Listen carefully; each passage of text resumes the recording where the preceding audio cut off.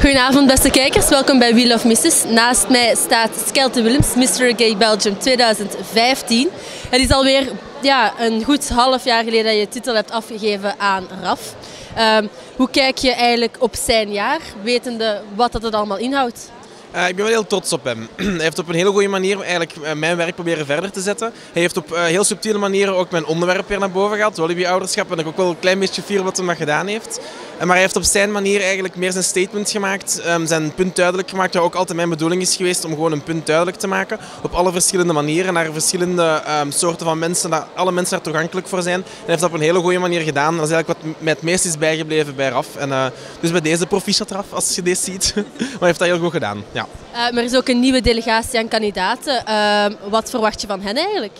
Uh, ik verwacht veel dit jaar. Ze hebben nu eigenlijk vier jaar kunnen kijken van wat het juist inhoudt, wat de campagnes juist zijn, wat ze juist moeten doen om het te kunnen maken. Dus ze hebben daar genoeg uit kunnen leren om echt een juiste en een goede campagne naar nu kunnen uit te slaan. Dus ik heb de lat wel net iets hoger gelegd voor de jongens dan, dan bij mijn jaar bijvoorbeeld.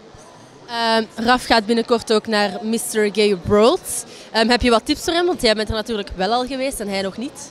Um, de enige tip dat ik dan kan meegeven is dat hij, dat hem gewoon moet genieten ervan. Zijn eigen moet amuseren. Dat hij gewoon moet doen wat hem, wat hem graag doet. En daardoor heb ik ook denk ik mijn zesde plaats behaald. Door gewoon ervan te genieten en te laten zien van ik ben er graag en ik doe graag wat ik doe. En niet per se beginnen stressen en iets per se goed willen doen omdat de mensen het goed zouden vinden. Dat is denk ik dan meer een zwakte. Dus dat is het enige wat ik kan meegeven. En dat is uh, zijn eigen blijven. Ja, in de zesde plaats, dat is nu wel de place to beat eigenlijk, om het zo te zeggen.